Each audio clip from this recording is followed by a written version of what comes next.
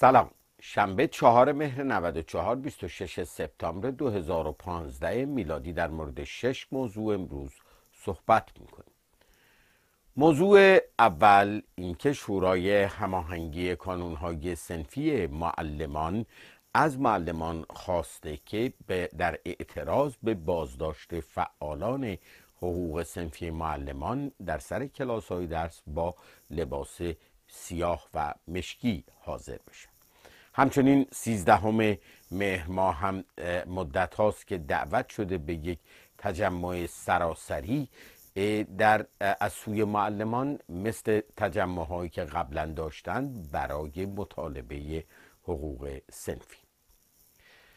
موضوع دوم اینکه مسئله مکه و حادثه که در منا اتفاق افتاد کماکان در صدر اخبار ایران و منطقه قرار داره. مطبوعات ایران خبر میدند از اینکه کشته ها از 1500 نفر عبور کرده. البته سایت های طرفدار سعودی کشتگان رو بیش از 700 نفر 716 یا 17 نفر ذکر کرده ایران آماری که میده 131 نفر ایرانی کشته شدن 86 نفر زخمی شدند و 336 نفر مفقود هستند. سی نفر از مفقودین پیدا شدن اما کماکان 336 تا هنوز پیدا نشدن. ممکن است در بیمارستان های مختلفی که مجروحین اعزام شدن تعدادی از اونها پیدا بشه. سفیر سابق ایران در لبنان آقای غزنفر رکنابادی معاون مشاور آقای رحیم صفوی معاون آقای رحیم صفوی سردار فولادگر از سپاه دو خبرنگار صدا و سیما و تعداد زیادی از اعضای بعثه آقای خامنه ای که هر سال به مکه میرند. همینطور چند نفر از قاریان قرآن مشهور جزو مفقودینی هستند که لیستشون رو جمهوری اسلامی فراهم کرد.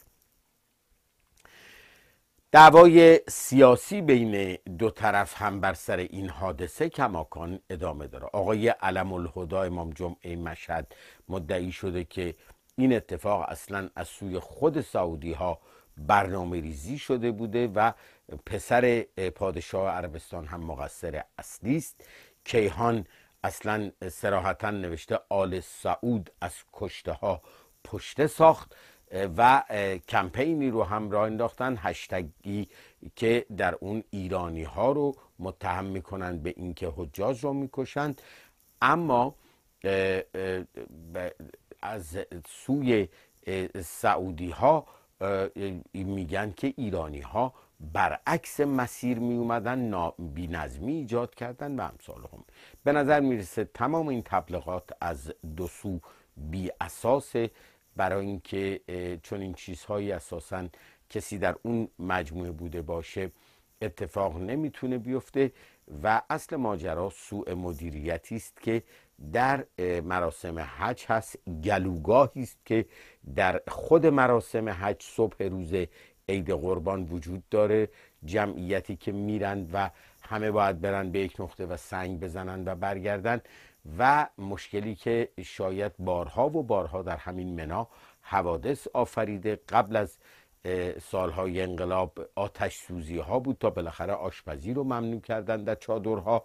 و حالا هم به شکل این ازدهام و زیر دست و پا رفتن که این سوء مدیریت به هر حال دا مسئولیت سعودی هاست که باید حل بکنن. اگرچه اون راه حل ایران هم که مدیریت اونجا رو به دست گروه بین المللی یا کنفرانس اسلامی یا دیگران بدن هم طبیعتا نمی‌تونه درست باشه. برای اینکه هیچ کشور دیگه ای هم داخل خودش مراسمی به چنین وسعتی رو نمی‌تونه به دیگران واگذار بکنه و هر حکومتی در عربستان بر سر کار باشه باید این مسئولیت رو بپذیر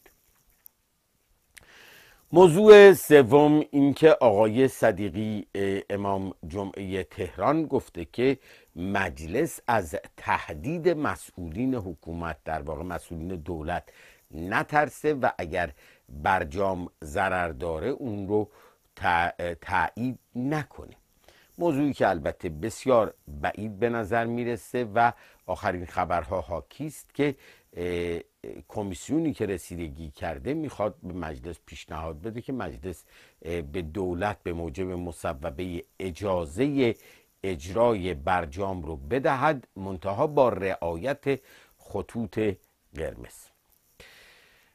پاپ که در مجمع عمومی سازمان ملل سخنرانی کرد در ضمن مسائل مختلفی که در سخنرانیش مطرح کرد از توافق هسته ایران و پنج به اضافه یک هم دفاع کرد و ابراز امیدواری کرد که تداوم پیدا بکن موضوع چهارم این که آقای روحانی در صحبتی که بعد از ورود به نیویورک در جمع روزنامه نگاران داشته روزنامه نگاران امریکایی عنوان کرده که ایران با حکومت سوریه رابطه داشته و رابطه خواهد داشت و در مقابل سوالی که از ایشون پرسیده شد که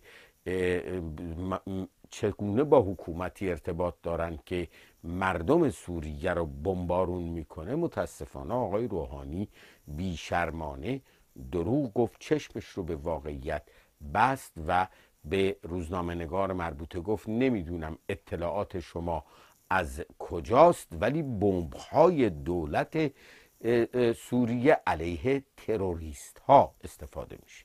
با آقای روحانی باید گفت میلیون ها آواره که از سوریه بیرون اومدن و اینطور به همه کشورهای دنیا دارن میرن بهترین شاهدی هستند که می‌تونن بارها و بارها گفتند اکنون هم ایشون هم می‌تونه بره. بپرسه که چگونه قصاب دمشق یعنی بشار اسد دست به کشتار مردم بیگناه سوریه زده. البته گروه های تروریستی موجود هم الان دست به کشت و کشتار می‌زنند. قصاب های همچون داعش که بوی از انسانیت نبردند ولی این از گناه دولت سوریه و گناه آقای خامنه ای و جمهوری اسلامی در پشتیبانی از دولت اسد کم نمی‌کنه. خانم وندی شرمن که قرار است از وزارت خارجه بره عنوان کرده که آمریکا آماده مذاکره با ایران در مورد سوریه است. اما وزارت خارجه ایران گفته که حاضر نیستیم با آمریکا وارد با آمریکا در مورد سوریه همکاری بکنیم.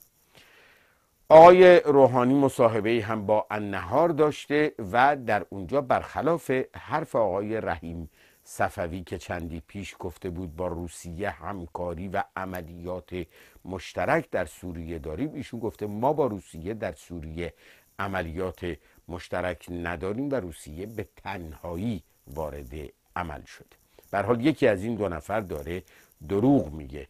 به نظر می‌رسه آقای روحانی بیشتر می‌خواد فاصله خودش رو از روسیه حفظ بکنه و نشون بده که به غرب دست کم نشون بده که در صف طرفداران روسیه در ایران نیست. مشاور امنیتی کاخ سفید هم خبر داده از اینکه آقای اوباما برنامه دیداری با آقای روحانی نداره ولی با راول کاسترو دیدار خواهد کرد. البته آقای اوباما هم در پاسخ سوال اینکه آیا با آقای اوباما دست خواهد داد گفته که دست دادن چیزی رو حل نمی‌کنه و اول تحریم ها باید برداشته بشه بعد راجع به بحث های دیگه میشه صحبت کرد.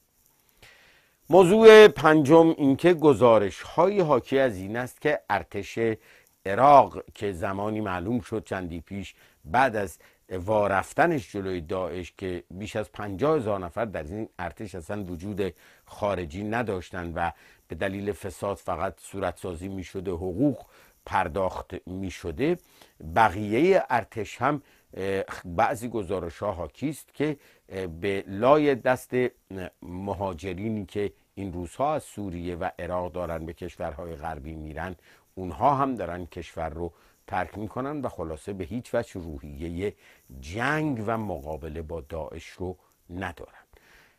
وضعیت فعلی ارتش عراق رو باید یکی دیگه از سیعات امثال دولت آقای نوری المالکی دانست که مورد پشتیبانی نیروی قدس سپاه آقای خامنه ای و جمهوری اسلامی بوده آقای جان بینر رئیس سخنگوی یا رئیس مجلس نمایندگان امریکا هم استعفا کرد. استعفایی که شاید خیلی ها رو بهد زده کرد ناگهانی بود و علت اون کشمکشی است که درون حزب جمهوری خواه قرار داره و جناهی که به تی پارتی معروفه و شاید چیزی در حدود جپه پایداری در مجلس ایران هست به بینر فشار می آوردن برای تعطیل کردن دولت ندادن بودجه موضوعی که ایشون مخالف بود برای گرو کشیدن طرح پرنتهود که در مجلس مطرحه و